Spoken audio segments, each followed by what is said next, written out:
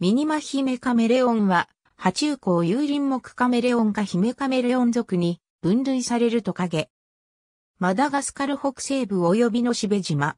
模式標本の産地はのシベ。最大オス2.8センチメートル、メス3.4センチメートル。生体は扁平な頭部を持ち、目の上には大型の鱗でできた頭冠がある。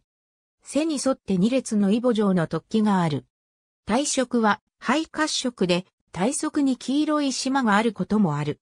オスはメスより体が細く、尾の基部に半陰茎が収納された膨らみがある。凍傷愛化により非常に小型化しているが、ミクロヒメカメレオンなど本種より小さい種もある。ブルックリアデンタタ、ブルックリアトゥーバーキアラタなどのヒメカメレオン類と種群を構成する。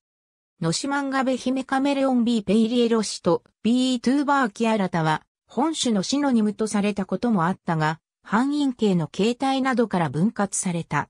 標高350メートル以下の多湿林に生息する。カメレオンとしては活動的な種で低い枝や落葉の間を歩き回ることを好む。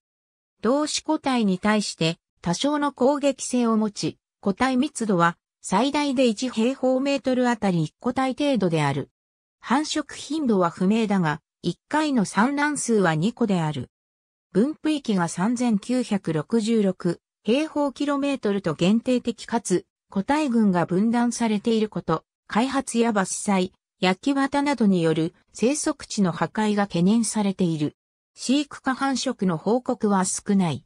縄張りを持つため、若い個体であっても単独飼育が望ましい。